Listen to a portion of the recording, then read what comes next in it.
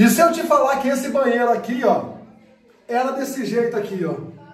Nós estamos fazendo a reforma, nós vamos trazer esse vídeo para você em três partes, tá? Vamos te ensinar fazer um marmorizado, quero te trazer uma técnica, a mais fácil de todas, principalmente para quem não tem ferramenta, tá? Aqui vai ser dividido em três partes, então a gente estou te mostrando a parte 1, depois a parte 2, né, que a gente vai decidir o que vai aplicar em cima, e depois a parte 3 para finalizar. Mas o legal é se você aprender a fazer isso aqui, você também vai aprender a fazer isso aí, né? No chão da sua casa, na parede, dá para fazer muita coisa legal. E de verdade, né? Não teve dificuldade nenhuma, tá?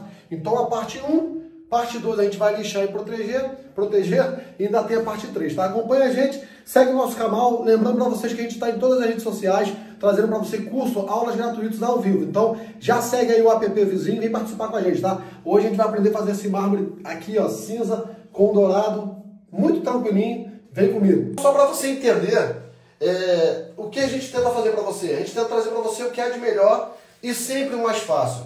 A gente sabe que para fazer uma parede dessa, o que, que a gente precisa... Ô minha filha, como é que você está? Tudo bem? É, aí, o que, que a gente precisa fazer uma parede dessa? A gente precisa né, de lixadeira, a gente precisa, né, é, é um acabamento, gente, de por muita lixa. Você para fazer um banheiro, né, em torno aí de 500 reais você gasta só de lixa. Mas eu não posso trazer isso para o meu segmento, né? Porque muitas pessoas né, não têm condição. Flávio, isso é fácil, né? Eu tomo muita pancada porque eu falo que é fácil. Gente, eu não acho difícil. Eu não acho difícil. Eu acho que se você seguir a regrinha, vocês vão ver que realmente não tem dificuldade. Agora, lembra que eu te falei no início da live? Se você for investir né, para ganhar dinheiro com isso, é claro que existe né, uma lixadeira zero pó, né? existe né, é, ataque de lixa. Né? Aqui, como é piso blindado, e nós não podemos fazer, né, principalmente na parte do boxe, né, sem ser né, com a proteção, então o que acontece? Nós temos que fazer o quê? Uma lixa no máximo 320, né? Dá para lixar até na mão, né? Aqui um banheiro, aqui tem, aqui tem mais ou menos né, 11 metros quadrados, né?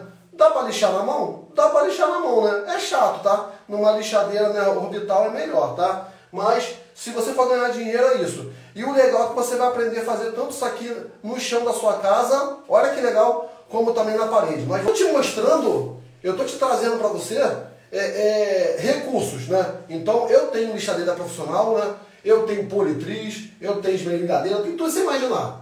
Mas aqui tudo manual, tudo manual, né? Lixamento manual, né? Porque esse brilho que vocês viram agora, a gente faz com um produto chamado piso blindado da Anjo Tintas Verniz. E dentro do box não tem outro recurso. Então não adianta eu vir aqui né, com ataque de, de lixa, até a lixa 6000 para extrair brilho, porque essa aqui é uma massa que extrai brilho, é a massa de efeito decorativo da Anjo Tintas, tá? Então essa massa é top, né? Tá com um ótimo preço. Não adianta porque primeiro eu sei que você não tem uma lixadeira, eu sei que você não tem uma esmerilhadeira, né? É um trabalho diferenciado. Para fazer um banheiro desse, eu vou gastar pelo menos aí 400 reais né, de lixa, porque você entra com vários tipos de lixa. Né? Então aqui não, nós vamos entrar no máximo né, com uma lixa 320, tirei a poeira, piso blindado você vai ter algo maravilhoso. Fechado? a primeira coisa que a gente faz né, no azulejo, como é que, qual é a primeira coisa que a gente faz né, num boxe, numa cozinha? Alguém se arrisca? Sim, é isso aí, ó. Nós temos que limpar. Não importa se é seu box, se é sua cozinha, nós temos que limpar. Eu vou te mostrar a diferença para você aplicar. Um exemplo. Dentro do box ali, né? Onde a mulherada, né? tá rindo, né, Dani? Onde a mulherada, né? Usa creme de cabelo, né? Rapaz, é tanto óleo. Minha esposa passa óleo para dormir, óleo para acordar, óleo para sair, é, é, creme de tudo. É de cabelo, desmaia cabelo, né? ressuscita cabelo. Eita, quase engasguei. Então, não tem como, né? Você tem um bote contaminado com coisa que eu nunca vi na minha vida. Como é que você vai chegar ali, vai pegar uma esponjinha, né? Aí, com detergente aí, esse detergente aí, né? Chuque, chuque, não. Então, a primeira coisa que a gente faz, você vai comprar um litro de ácido muriático, tá? Esse produto vende na loja de material de construção. Você vai adicionar num balde, um litro para três.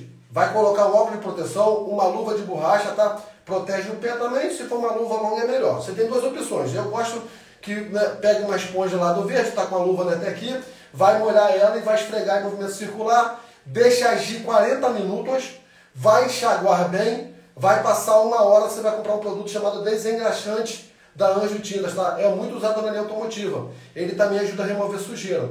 Então você compra ele, vai passar também em movimento circular. Para quem for lavar no box, esperar em torno de 3 dias e aí a gente faz o processo que eu vou te falar, tá? Agora aqui né, por mais que tenha evaporização, você pode entrar só com um desengraxante, tá?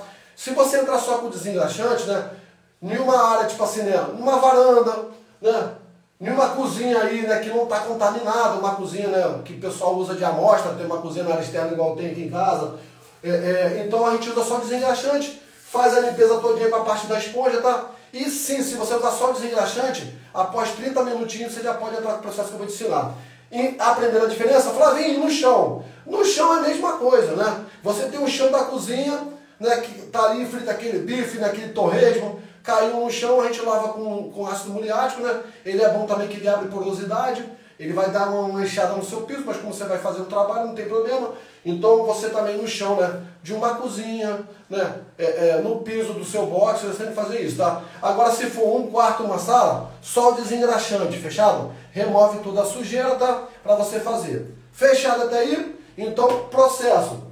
Acabou de fazer isso, o que, que nós vamos fazer, Flavinho? Aí nós vamos entrar com promotores de aderência. Vou te dar três opções.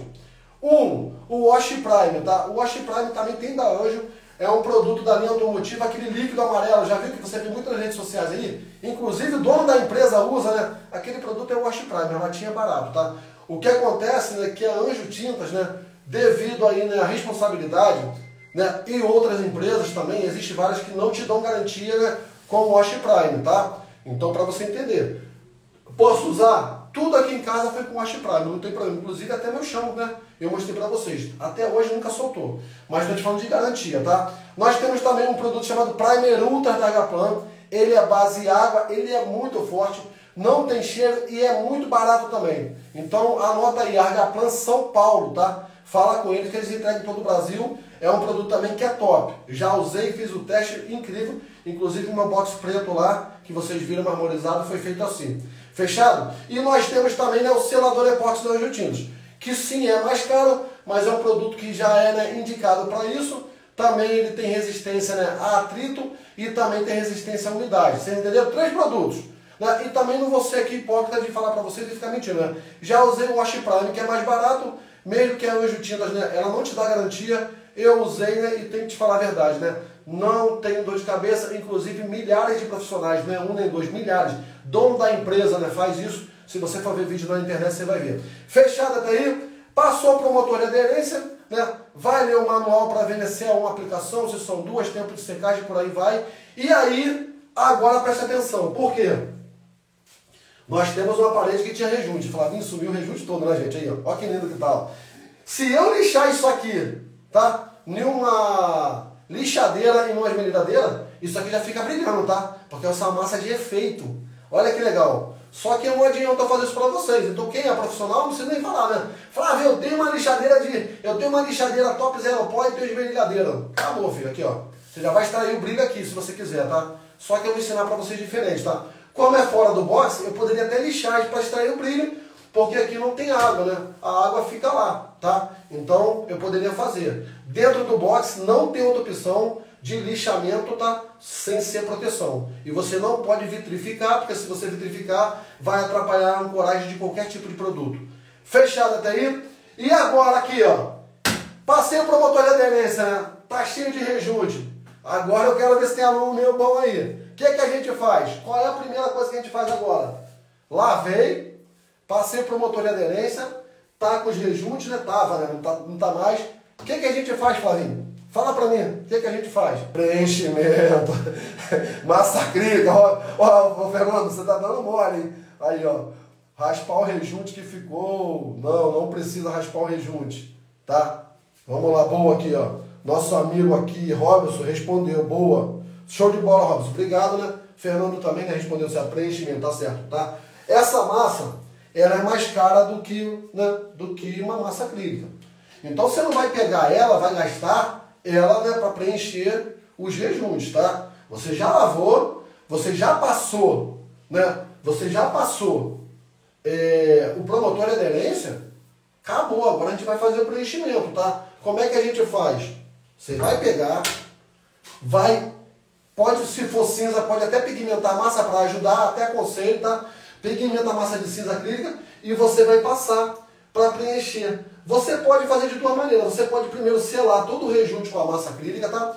e depois dar uma camada por cima, ou você pode né, fazer direto. Quando você fizer direto, a massa acrílica tem um pouquinho de retração. O que vai acontecer é que na segunda demão vai aparecer os rejuntes ainda, né? Aí na segunda demão você passa e né, finalizou. Você vai ter uma parede lisinha, tá? Você tem uma parede lisa para economizar, senão tu vai gastar muito. Entendeu? Agora tem outro ponto que eu queria falar com vocês. É... Se você fizer com rolo cabelo de anjo, é muito rápido. Eu mostrei o vídeo para vocês, né? Pega um rolo cabelo de anjo, né? Usa, passa ele aqui, vem com a desempenadeira, né? Berox, né? A Bairel também tem. Ela é maior. De lá para cima para baixo chega a ser covardia. Já vai ter uma parede lisinha, tá? Então, show de bola. Massa acrílica. Flávio, pode ser massa corrida, massa PVA? Não, né? A gente quer algo bem forte, tá? Então você passou. Agora é hora que eu preparo a cor com a massa. Você quando comprar o seu balde, ele vai vir fechadinho, né? Vou mostrar uma coisa para vocês. Esse aqui é uma massa de efeito decorativo, tá? Então, uma massa de efeito decorativo, ela não vem, ela vem pronta para uso, mas você tem que agitar. Uma massa acrílica, ela vem pronta para uso, mas você tem que bater, né? Às vezes, você tem que até que adicionar, adicionar alguma, um pouquinho de água, 5% de água. Por quê? Deixa eu ver se essa aqui vai estar. Porque como isso aqui, dentro de uma massa de efeito decorativo, vem vários produtos, né? Aqui, ó. Vou mostrar pra vocês. Essa aqui veio, ó. Abri a lata agora. Não sei se vocês vão, vão ver aqui, ó. ó. Deixa eu mostrar pra vocês aqui. Deixa eu mostrar essa aqui, ó. Ó, aqui, ó. Olha lá, ó. Olha o que tem lá, ó. Tá vendo essa aqui, ó?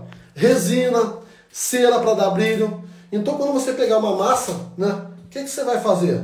Você vai mexer. Então, antes de pigmentar, você vai pegar a massa, você vai bater bem ela, tá? Se tiver um batedor, né, que eu tenho, você bota numa furadeira para furadeira embaixo, tá? Então aqui, como eu sei que muita gente não tem, estou fazendo o máximo para ajudar vocês, tá? O objetivo aqui é que vocês ingressem nesse segmento e ganhem dinheiro que tem uma casa bonita, tá? Então aqui, ó, você tem que ir o mais baixo possível, tá? De preferência lá no final da lata. Você vai pegar a massa aqui. Tenta fazer né, de um jeito que você que você é, sobre um pouco, porque se você fizer né, e faltar, provavelmente você não vai conseguir pigmentar mesma coisa, né? É muito difícil pigmentar, tá? Então aqui como a cor, né? A cor que vai né, ter mais destaque, um pouquinho mais escuro, eu vou botar metade desse pote aqui. Esse pote aqui cheio de massa, ele me dá 2 kg de massa, tá? Esse pote é de 1 um kg, mas como a massa tem a densidade da massa, né? Tem líquido, tem polímeros, esse pote aqui, ele equivale né, a 2 kg de massa, tá? Então coloquei a metade, 1 um kg de massa, tá? Vou pegar aqui um potinho, né? Que com certeza vocês têm na casa de vocês aí também, né? Manteiguinha. Tinha que ter um patrocínio dessa manteiga, né? Essa aqui minha esposa separa pra mim, ó. Vou botar meio pote. Se é 500 gramas, meio pote, 250, tá? Então aqui, ó. Meio pote, tá? E vou fazer mais uma cor. Fazer um tomzinho mais claro. Já vou colocar aqui, ó, dentro desse balde aqui mesmo, que ele tá, né, tem massa branca aqui, então já aproveito e faço. Estou ao vivo para vocês, trazendo para vocês uma aula né, completa de transformação de parede ou piso, tá? O que vai mudar, Flávio, se for, né, se for é, piso, você vai usar massa de piso. Não tem, não tem é cerejinha do bolo, não. É só, vende hoje, né? Vende muito, né? Gente, deixa eu só pegar um pouquinho de água, tá que ela tá um pouquinho grossa. Pegar um pouquinho de água aqui, rapidinho.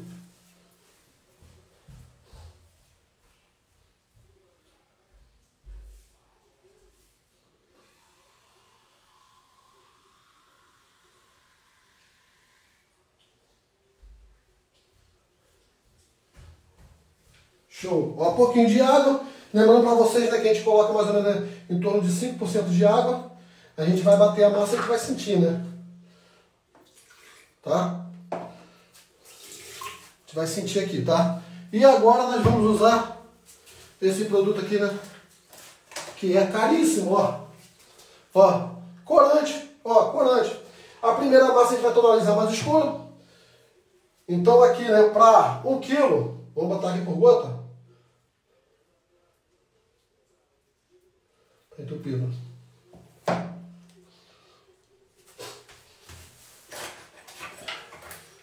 Por isso que é bom você treinar por olho. Treina por olho, por quê? Porque se você ficar fazendo por gota, vai depender muito né, do pinga-gota, vai depender também da, da marca, né? Cada um de um jeito, tá? Então já estou te falando a importância de você entender sobre a cor, tá? Então aqui, ó, eu vou botar aqui 30 gotas, ó.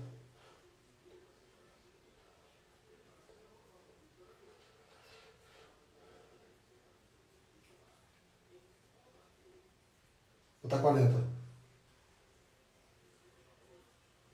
40 gotas, tá? Não tem, tá? Gente, ó, para um quilo eu botei 40 gotas, tá? Não deu a cor que eu quero, tá?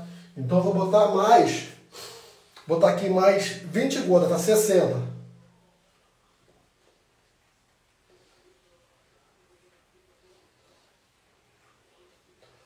Sessenta gotas para um quilo, tá? Tô trazendo para você a receita, mas sempre né, faça como eu te falei, tá? Olhe é, é, e aprenda, tá? Então aqui a gente quer fazer um cinza mais tonalizado, fechado? né, para você fazer né, o efeito que eu quero né, com a base cinza, tá?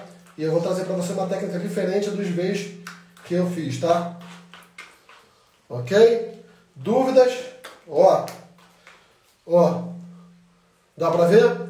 Um cinza mais escuro. Flávio, ó, qual é a diferença dessa massa para massa de cimento queimado?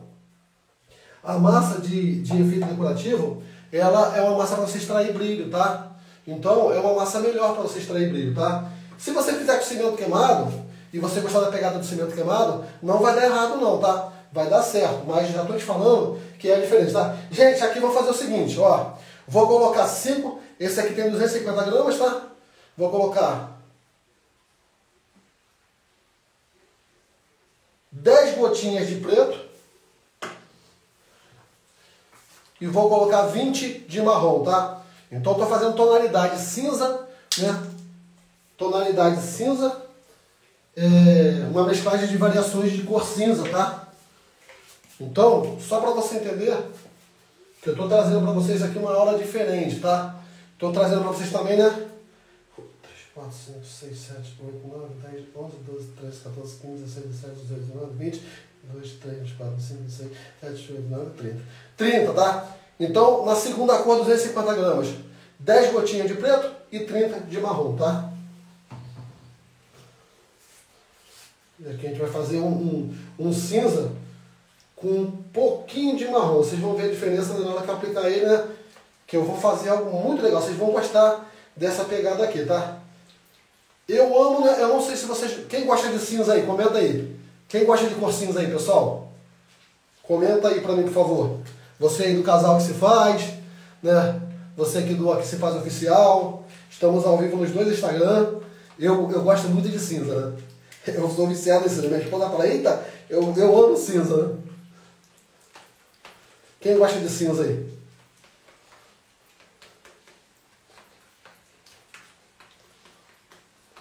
Eu acho top, né? Eu gosto, né? Eu gosto, cara. Eu acho que cinza combina com tudo. Ó, vou botar mais 10 gotinhas de marrom, tá? Então, 10 gotinhas de preto, 40 de marrom, tá?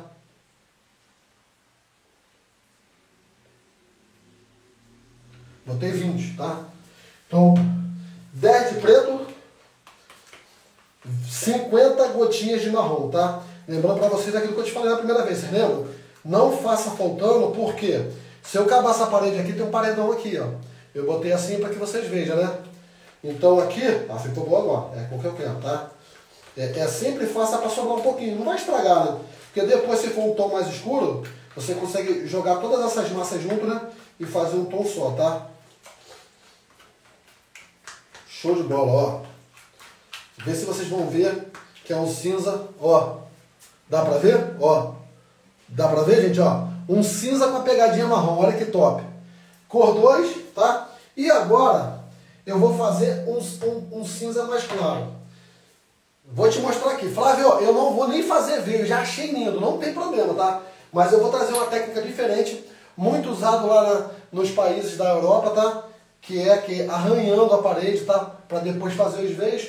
Tem com pincel, mas esse aqui eu quero que vocês avaliem para que vocês me falem. Flavinho, achei bem legal, bem interessante, tá? Então tá aqui a massa. Vamos colocar 20 gotinhas de preto, tá? Aqui tem mais ou menos também, vamos botar 10 primeiro? 10 primeiro, faz um cinza mais claro, tá? Aqui tem mais ou menos 250 gramas, tá? Aí aqui nós não estamos usando o quê? O marrom, tá? Estamos fazendo uma... Opa! Estamos fazendo um cinza mais clarinho para a gente fazer a aplicação aqui do nosso efeito, tá?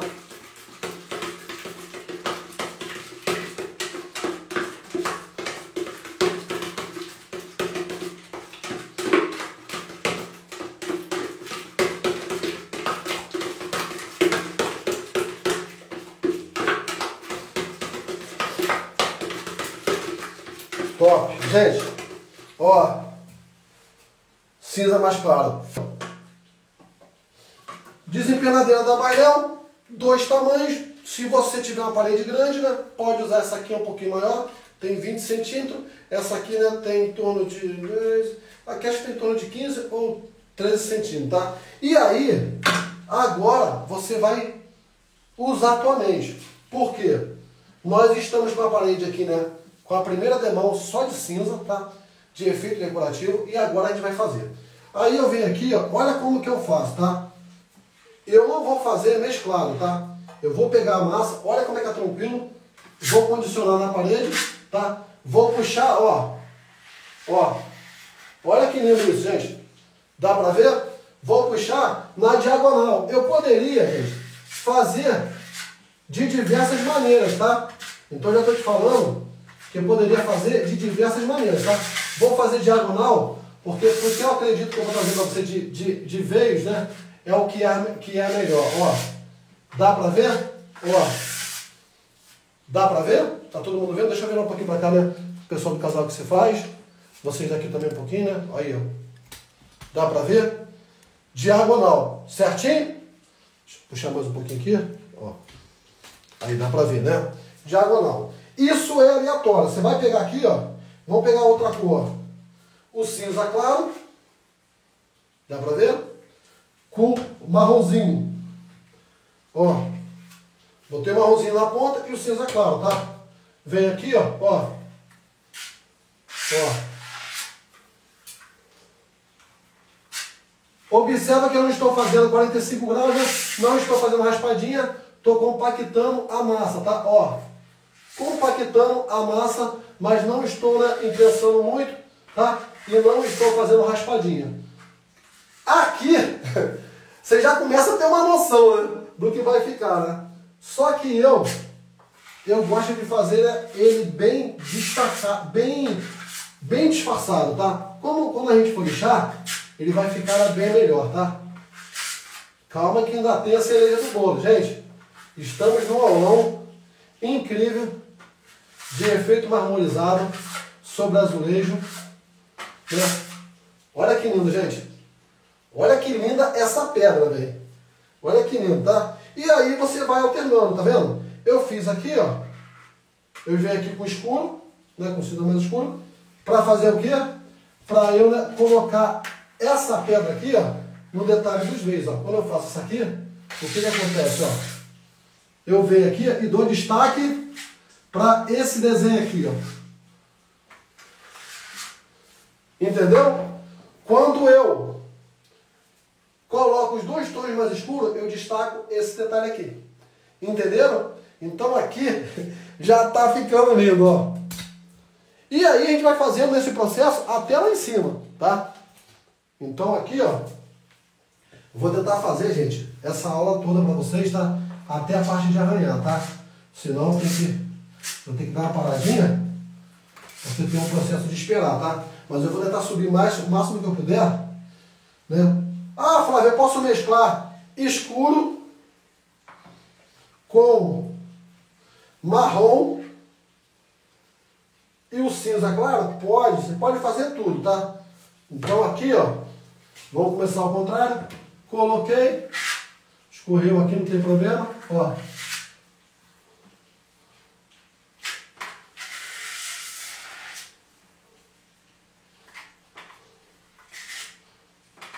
Olha que maravilha. Você vai ficar lindo, gente. Quando vocês olharem. Vou mostrar de pertinho agora, tá? Posso mostrar de pertinho para vocês? Aqui, ó. Quando você tem uma desempenadeira boa, tem uma vantagem. O que, é? Quando você for lixar, né, inclusive para quem não tem é, lixadeira profissional, quando você for lixar na mão, o que, que vai acontecer? Você vai ter menos trabalho. Vou mostrar para vocês de pertinho agora, tá? Vou virar a câmera e vou mostrar para os dois, pros dois canais. Cara, glorificado seja o nome do Senhor. Que felicidade que eu fico né, de poder trazer uma aula para vocês dessa aqui ao vivo, trazendo o que há de melhor. Olha que maravilha isso aqui no ao vivo. Isso vai ficar incrível, tá? Ó, olha isso aqui, gente. Olha isso aqui, galera. olha isso aqui, gente. Ô, tá brilhando, é porque tá úmida. Gente, Deus é muito bom, né? Olha isso aqui, ó. Olha esse mármore. Você já consegue ver comigo? É? Vocês conseguem já entender o que, que isso vai ficar?